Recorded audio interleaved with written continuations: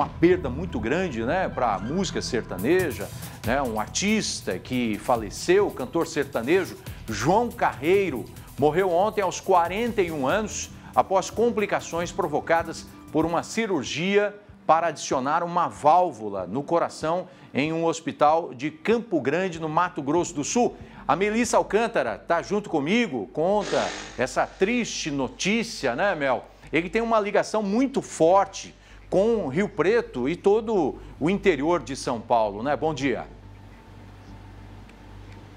É isso mesmo, Sandro. Bom dia para você, para todo mundo que está assistindo a gente. A nossa região é uma grande consumidora desse universo sertanejo, não é? A gente vê que nas rádios, nos programas de TV, nas festas, o que predomina é o sertanejo. E no caso do João Carreiro, ele começou a carreira praticamente aqui em São José do Rio Preto, quando fez dupla aí com o Capataz, a famosa dupla João Carreiro e Capataz. E nas redes sociais, claro, muitos artistas lamentaram essa morte aí tão precoce desse cantor talentoso. E os cantores aqui de São José do Rio Preto, tanto do universo sertanejo quanto de outras áreas, também quiseram, fizeram questão de dizer esse adeus aí em público através das redes sociais. O capataz aí que eu citei há pouco postou que recebeu a notícia com tristeza e que a filha, que hoje está com 21 anos, chorou ao lado dele. A menina estava na barriga da mãe quando os dois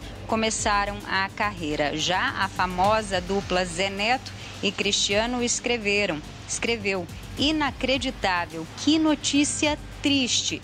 Que Deus conforte a todos nós, a todos nós mesmo, não é? Porque realmente todos lamentamos o ocorrido. E o Matias da dupla em Mato Grosso e Matias postou. Ele também usou o termo inacreditável. Descanse em paz, amigo. Deus conforte o coração de todos. E nós, não é, Sandro, preparamos aí uma reportagem contando um pouquinho da trajetória do João Carreiro, que teve uma carreira de sucesso, uma trajetória brilhante que chamou tanto a atenção e impactou a todos nós por conta da potência da voz. Vamos ver. João Carreiro estava internado em um hospital de Campo Grande, Mato Grosso do Sul, para realizar uma cirurgia. O cantor iria colocar uma válvula no coração.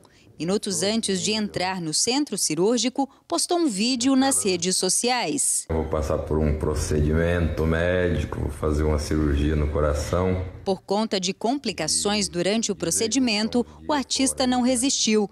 João Carreiro ficou conhecido nos anos 2000 quando fez dupla com Capataz, que atualmente mora em Rio Preto.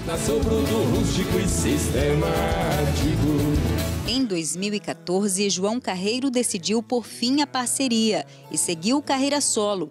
Sozinho, continuou fazendo sucesso e emplacou músicas que conquistaram o público, principalmente por conta da voz grossa e marcante. Bagulho é louco, mano, tamo junto, pode crer, eu acho é massa nos rolês, é o assunto. O último show do sertanejo foi na virada do ano, em Pedra Preta estado de origem do cantor. Durante a madrugada, a esposa Francine Caroline pediu orações pela vida do artista, até que veio a triste notícia. A voz potente foi calada. Doeu demais ver você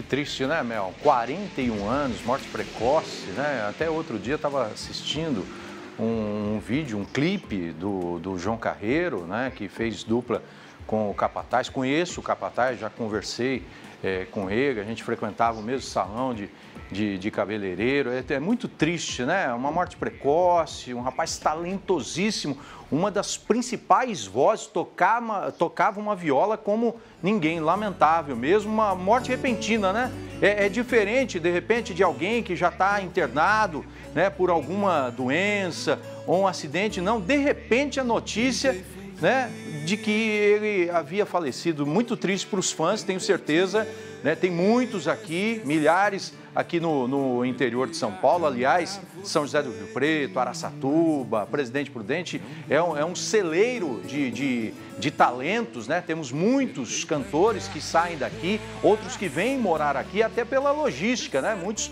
moram aqui no, no interior, tem alguns que a gente nem, nem sabe, mas que residem aqui para é, é, se deslocar para o Mato Grosso, para o Paraná. Né? Fica é, logisticamente é uma região privilegiada para eles fazerem shows, porque fazem demais, né? É para todo Brasil, né, Mel?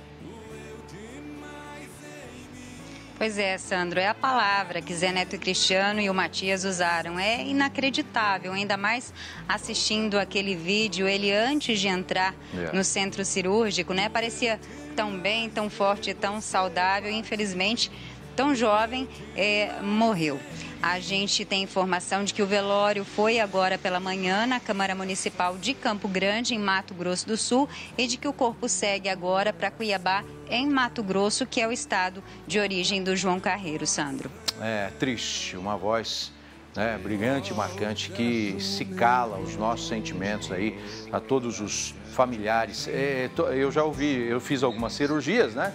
É, o médico fala, né? Mexeu com o corpo não adianta. Qualquer tipo de ato cirúrgico é, tem riscos, né? É lógico que a gente não, não quer que aconteça, mas pode acontecer, infelizmente, né? E Papai do Céu quis que ele fosse cantar lá junto com ele. Os nossos sentimentos aos familiares e aos fãs aqui da nossa região. Muito obrigado, Melissa.